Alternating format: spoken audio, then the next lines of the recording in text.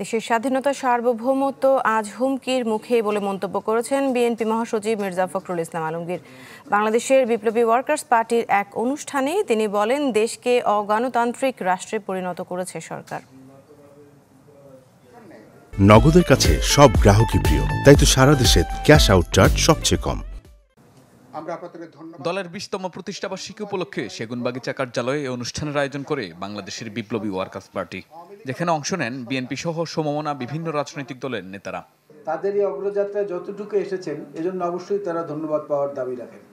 বাংলাদেশের অস্তিত্ব টিকিয়ে রাখার লড়াই চলছে বলে মন্তব্য করেন বক্তারা। হুঁশিয়ারি দেন গণ আন্দোলনেই বিদায় হবে ক্ষমতাসীনদের।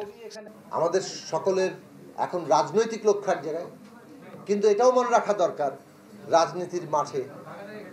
চিন্তা, আদর্শ, লড়াই, ইতিহাস, ঐতিহ্য, এর পার্থক্য আছে। কীভাবে এই প্রতিক্ষ পক্ষের বিরুদ্ধে বাস্তবতা অনুযায়ী আমরা জনগণকে সবগুলো শক্তিকে ঐক্যবদ্ধ করতে পারব, সেই পথটি আমাদের অনুসন্ধান করা দরকার।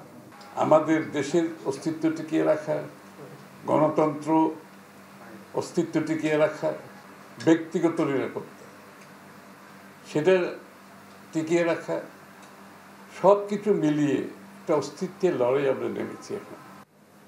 অনুষ্ঠানে দেশের অস্তিত্ব বিপন্ন হবে বলে মন্তব্য করেন বিএনপি মহাসচিব। আহ্বান জানান দেশ রক্ষায় দলমত নির্বিশেষে ঐক্যবদ্ধ হওয়ার। যে বাংলাদেশ এখন সবচেয়ে বড় একটা সংকটের মধ্যে উপস্থিত হয়েছে।